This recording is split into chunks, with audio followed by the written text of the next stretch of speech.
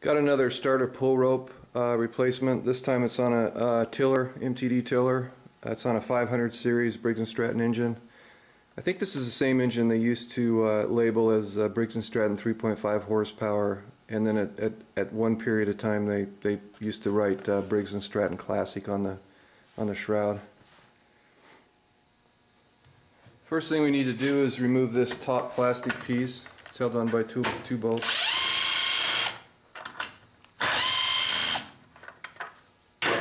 Kind of clips in so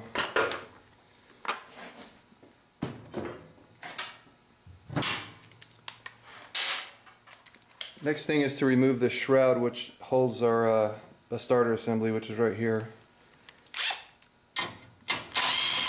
There's three bolts holding the shroud to the engine.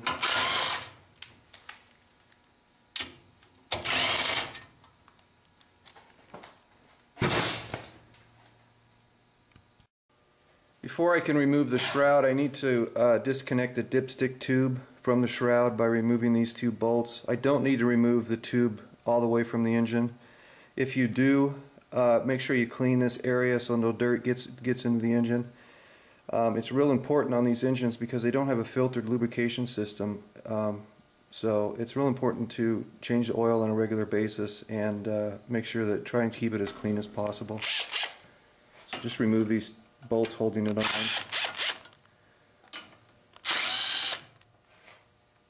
And then you can lift it off the engine. Okay, the first thing you want to do is, is cut some cord. Um, it, I usually use about seven feet of this stuff. If you get real, if you get cord that's real, um, uh, not real flexible, like this is kind of um, stiff, you might want to go a little bit shorter. Um, I cut this to six and a half feet. Uh, but the first thing you want to do is uh, you want to heat the ends so that they don't fray, come apart anymore. Uh, in fact, I'm going to completely get rid of this one.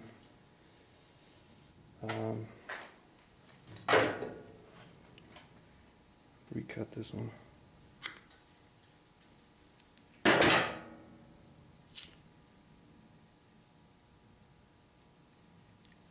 And melt it and kind of kind of roll it. Makes it easier to insert into the starter assembly and also it keeps it from coming apart.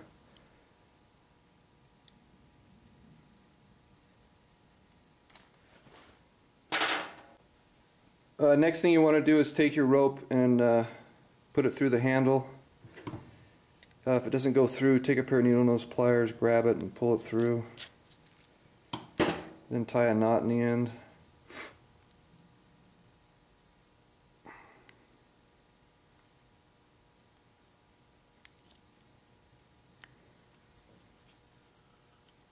I'm to see that it's starting to fray here. I'm to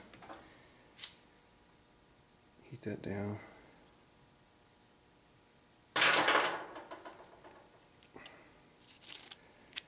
And pull the cord through. This is your shroud with your re recoil starter assembly.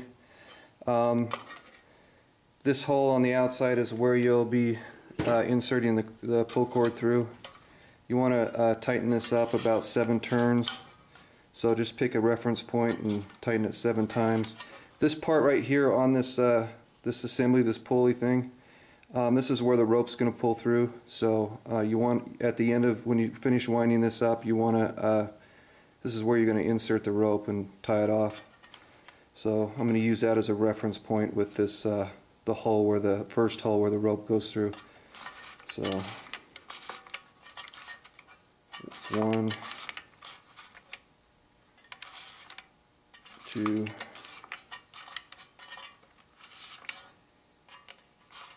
three, four,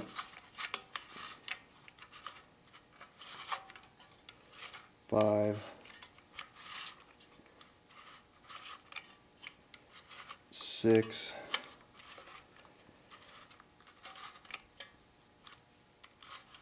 seven. Okay. After I uh, line up this this part of the uh, the starter assembly right here with the, with a hole on the outside. I'll go ahead and insert the, the pull cord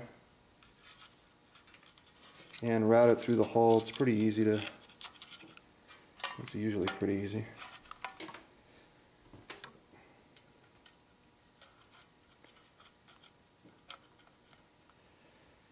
And then take my needle nose and pull it through.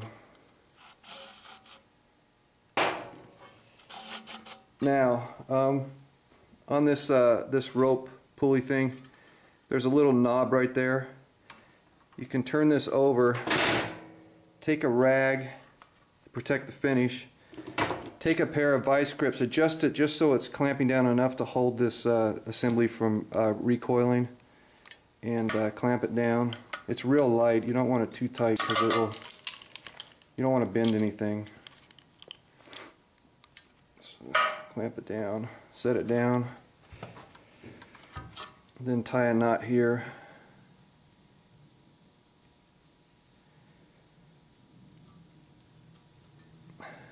Pull your uh, cord through.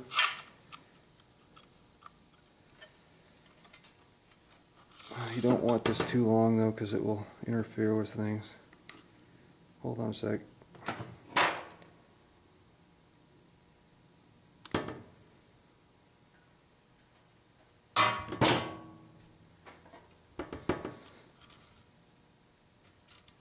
About like that.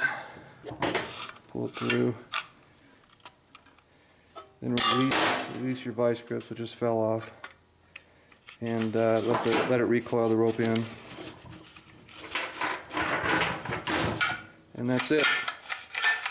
We're ready to reinstall this uh, shroud. Now uh, reinstall the shroud.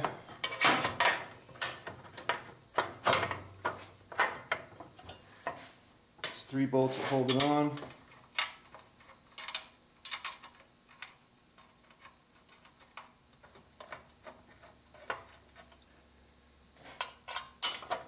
Look at the sweat from. Uh, it's so hot here. I'm on the East Coast, and it's it's got to be over 100 in this in this garage.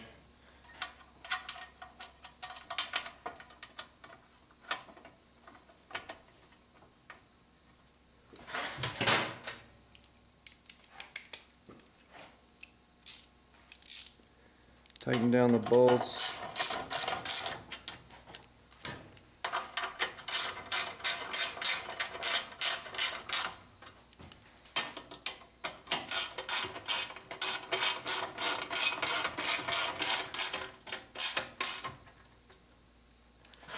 Reinstall the bolts that hold the uh, dipstick tube onto the shroud.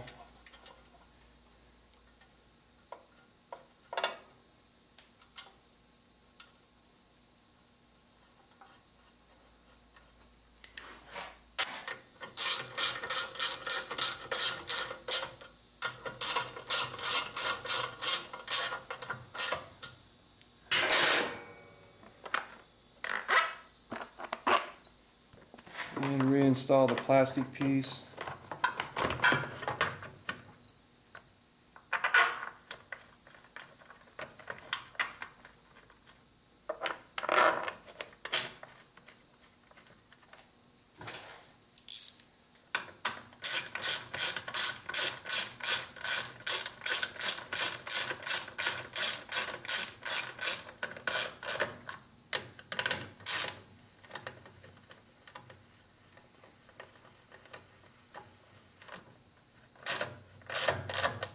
And that's it. That's all there is to it. Um, hope you enjoyed watching the video and uh, thanks for watching.